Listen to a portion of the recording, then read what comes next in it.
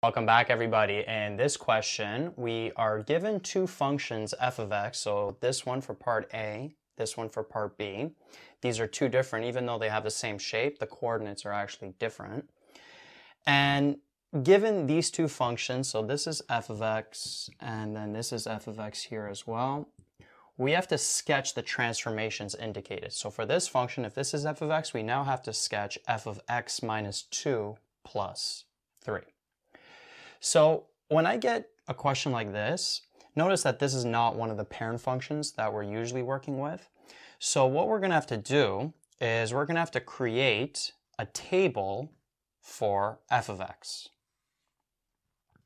Actually, you know what? Um, let's, uh, I'm going to erase this here, give myself some more room. So y is equal to f of x. So here's the table for the quote unquote parent function. This is going to be the parent function. And then we're going to transform it to f of x minus 2 plus 3.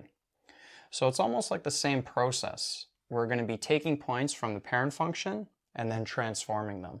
So what you want to do is you want to actually list out points on the parent function if you're given a graph. And the points I always like to pick is any corner points where the graph is changing. So notice here, that is one corner point. So this point is negative 3 and negative 2.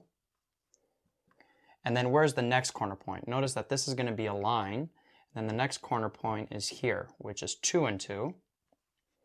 And then the next corner point is here, which is 1, 2, 3, 3 and negative 1.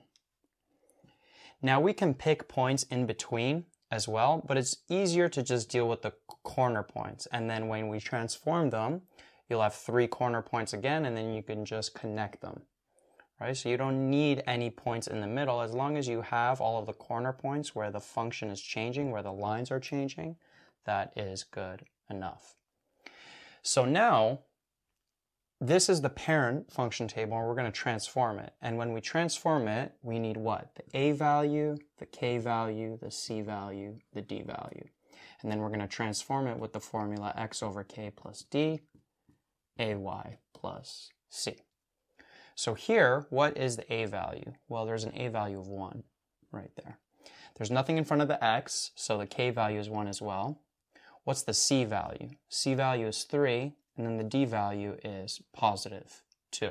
So you should be pretty comfortable at this point whenever you're given a function like this, which is in general format, get the transformation values. So now with all these transformation values, we plug it into this formula. So x over k, x over 1 is just x, plus d, the d value is 2. And then we'll have ay plus c, the a value is 1, times y, which is just y, plus c, which is 3.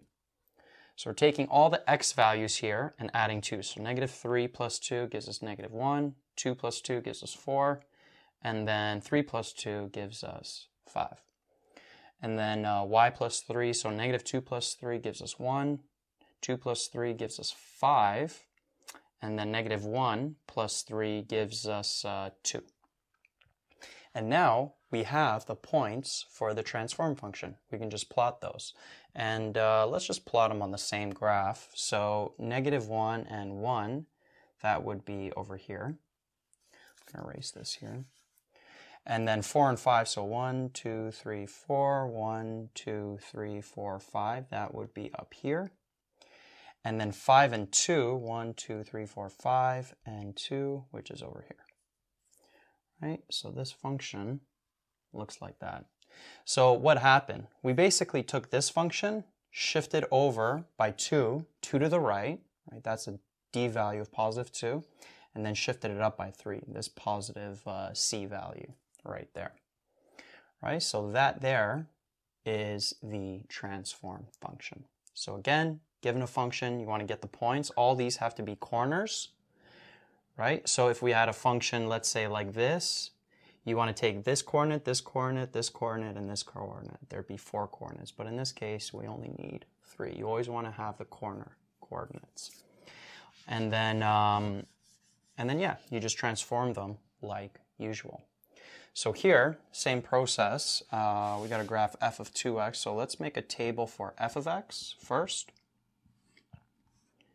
and then we're going to transform it to f of 2x. So this point here is what? 4 and negative 2. This point here is 2 and 3. And this point here is 4 and negative 3. Like that. Oh, sorry, this one is negative 4 and negative 2. My bad. Right there. So these are the points on the parent function, and now we have to transform them here. So with this function, what's the a value, what's the k value, what's the c value, what's the d value? a value is 1, k value is 2 in this case, c value is 0, then the d value is 0. It's like x plus 0. Right? So there's no c value, no d value, meaning that it's not shifted left or right. It's only a k value of 2. It's not shifted left or right, it's not shifted up or down either with the c value 0. So this k value of 2, if we plug it into this formula, basically all we're doing is we're taking the x values, dividing them by 2, adding 0. So it's just x over 2 and then a, which is 1, times y, which is y, plus 0. So all the y values stay the same. So all the x values we're dividing by 2. So negative 4 divided by 2 gives us negative 2. 2 divided by 2 is 1. 4 divided by 2 is positive 2. And then all the y values are staying the same. So this k value of 2, what's it doing to the parent function? It's taking the function and horizontally compressing it by 1 over 2. You remember you flip the k value. So basically, our function is going to be same shape, just a little skinnier. So negative 2 and negative 2, that would be over here. 1 and 3, that would be up here. And then 2 and negative 3, that would be over here right? So the transform function looks like that, right? So we took this function and horizontally compressed it by a factor of 1 over 2. So that was the only transformation, right? So questions like this, if you're given these random graphs, you want to get points. They have to be the corner points. And then you just take the points and transform them with the transformation formula that we went over in the lecture video. So it's a little time consuming, but it is not too difficult.